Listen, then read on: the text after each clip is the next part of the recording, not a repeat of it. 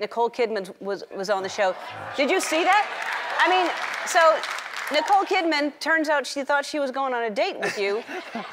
yeah, no, this is honestly another thing. I, uh, I, I'm really embarrassed about this. So but this is like therapy. So this is, feels good. I can talk to you guys about this. Good. I had Nicole Kidman. Uh, my friend calls me and said, uh, "Dude, what are you doing?" I go, "I'm walking, walking." Well, how home. long ago was this? Before you're married, obviously. Oh yeah, yeah, yeah. Um, this is uh, uh 2000 two, I'm gonna mm-hmm, say, mm-hmm. uh, right before I met my wife in 2004.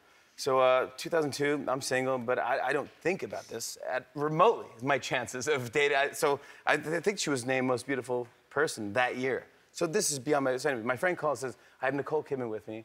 Uh, she wants to meet you, and I think it's about a movie, uh, Bewitched. She was about to make, and I go, oh yeah, which she ended up making with Will Ferrell, and it was great and whatever. So I go, uh, okay, great. What, what do you want me? He goes, well, come to your apartment. I go, oh my, you're gonna bring Nicole Kidman to my apartment? Like this is uh, okay. Uh, what do we have? What do we put out? I don't know what to do. So my friend goes, go get some cheese and crackers. I go.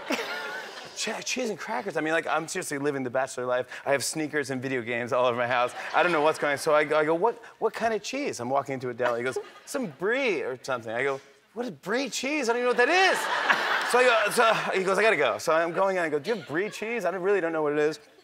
So I get a thing of, I go to this aisle, I get brie cheese and saltine crackers. And, and I go, and I love, but I don't know anything about cheese and crackers. I don't even have a cracker plate. So I put the cheese on a, a normal dinner plate.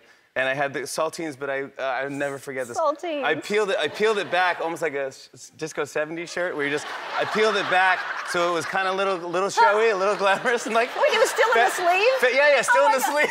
and I, I fe- feathered out the crackers, so it was classy. And uh, and I totally remember this. And so Nicole Kidman's coming on my show, and I call my friend. I go, dude, Nicole Kidman's coming on.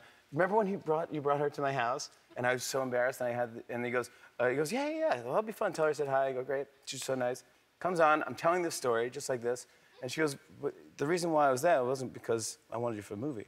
You go, huh? She goes, no, I, I liked you, or something. And I was like, wait, what happened? Wait, wait, wait, wait, did, are you saying that we, we basically, we went on a date? And then she goes, uh, yeah, it was terrible.